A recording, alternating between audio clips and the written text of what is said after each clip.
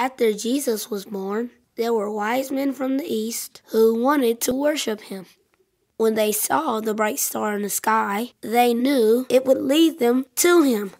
On coming to the house, they saw the child with his mother Mary, and they bowed down and worshipped him. Then they opened their treasures and presented him with gifts of gold, and of incense, and of myrrh. Like the wise men, we should seek after the newborn King with all of our hearts, not only during Christmas, but all year long. Let's join the angels, shepherds, and wise men and celebrate the birth of Jesus. Noel, Jesus is born.